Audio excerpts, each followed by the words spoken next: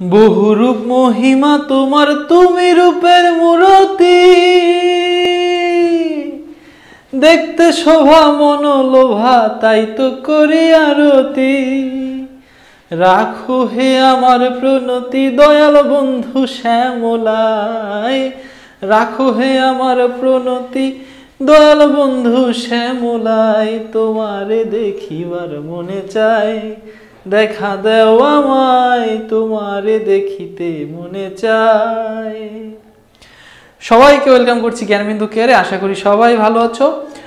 গান দিয়ে শুরু করলাম, কারণ পড়ালেখার শুরুতে একটু এন্টারটেনমেন্ট করে নিলে মন্দ হয় না ব্যাপারটা।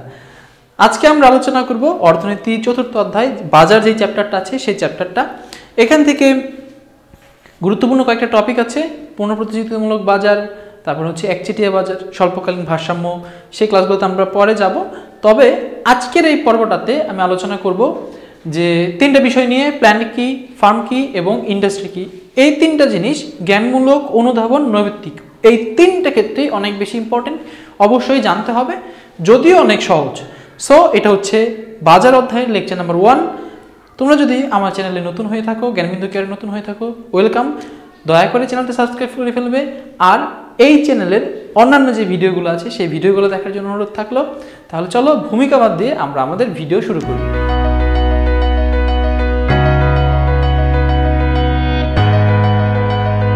প্রিয় বন্ধুরা, তাহলে চলো আমরা জেনে নিই প্রথমে প্ল্যান্ট কি।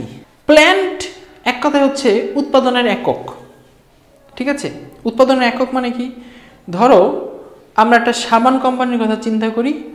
ধরো, লাক্স সাবান বিউটি সোপ এই যে বিউটি সোপ কোম্পানিগুলো আছে, এই বিউটি সোপ ফার্মগুলো কি করে? ধরো তাদের তিন, চার, পাঁচ, ছয়, দশ, বারো, পঞ্চাশটা কি থাকতে পারে? উৎপাদনকারী একক থাকতে পারে, বিভিন্ন জায়গায়। ধরো রাজশাহীতে একটা থাকতে পারে কুমিল্লা একটা থাকতে পারে, উখিয়ায় একটা থাকতে পারে, টেকনাফ একটা থাকতে পারে, যেখান থেকে তারা সাবানগুলো উৎপাদন করে। বা ধরো একটা সিমেন্ট কোম্পানি সেই সিমেন্ট কোম্পানির কি থাকতে পারে? বিভিন্ন নদীর পারে পারে কি থাকতে পারে? তাদের সিমেন্ট উৎপাদনকারী প্ল্যান্ট থাকতে পারে। যেখানে কি করা হয়? শুধুমাত্র ওই সিমেন্টটা উৎপাদন করা হয়। ধরো, মেঘনা নদীর তীরে একটা সিমেন্টের প্ল্যান্ট থাকলেও সেখান থেকে সিমেন্ট উৎপাদন করে কি করে? এই সিমেন্ট কোম্পানিগুলো বিভিন্ন জায়গায় সিমেন্টটা সাপ্লাই দেয়। সো এগুলোকে আমরা বলছি প্ল্যান্ট ওকে প্ল্যান্টের ধারণাটা ক্লিয়ার তাহলে হয়ে গেল। এবার আসি ফার্ম কি? এই ফার্ম শব্দটা সবাই অনেকবার শুনেছ, সবার কাছেই অনেক বেশি পরিচিত, কিন্তু অনেক সময় আমরা ক্লিয়ার মানে জানি না যে আসলে ফার্ম কি। বলে ফেলি, কিন্তু জানি না যে আসলে জিনিসটা কি। ফার্ম হচ্ছে সমজাতীয় দ্রব্যের উৎপাদনকারী একক। উৎপাদনকারী প্রতিষ্ঠানকে আমরা ফার্ম বলছি। যেমন ধরো সমজাতীয় দ্রব্য বলতে কি? ধরো আমরা ধরি সিমেন্টের কথা যদি বলি। ধরো অনেক ধরনের সিমেন্ট আছে। শাহ সিমেন্ট আছে, তারপর হচ্ছে সুপারক্রিট আছে ফাইভ রিংস না সেভেন রিংস আছে, এ ধরনের অনেক সিমেন্ট আছে, আকিস সিমেন্ট আছে।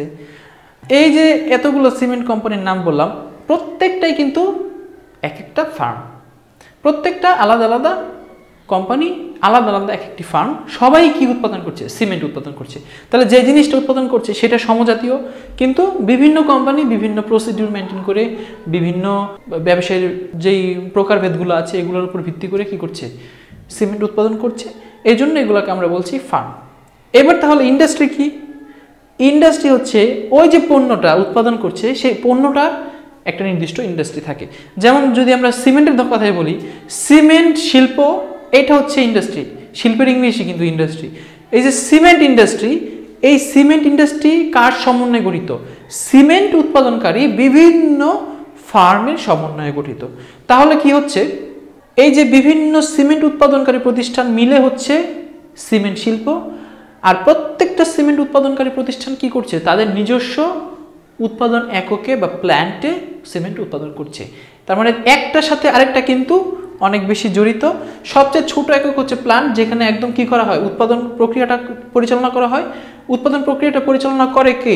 ফার্ম, তার মানে হচ্ছে ফার্মের আন্ডারে একটা, দুইটা, তিনটা, চারটা এরকম অনেকগুলো প্ল্যান্ট থাকতে পারে। আবার এই যে ফার্মগুলো, এই ফার্মগুলো সমন্বয়ে গঠিত হয় কি? একটা ইন্ডাস্ট্রি। এই ইন্ডাস্ট্রির আন্ডারে আবার কি থাকতে পারে? অনেকগুলো ফার্ম থাকতে পারে। ঠিক আছে? এ হচ্ছে আমাদের প্ল্যান কি? ফার্ম কি? ইন্ডাস্ট্রি কি? এটা খুবই সিম্পল একটা ক্লাস ছিল, খুবই ছোট একটা ক্লাস ছিল। আশা করি সবাই ভিডিওটা এ টু জেড দেখেছ এবং ধারণাটা ক্লিয়ার হয়ে গেছে। সো আমাদের লেকচার টুতে আমরা আলোচনা করব পূর্ণ প্রতিযোগিতামূলক বাজারে স্বল্পকালীন ভারসাম্য। ঠিক আছে? সে পর্যন্ত অবশ্যই জ্ঞানবন্ধু কেয়ারের সাথে থাকতে হবে।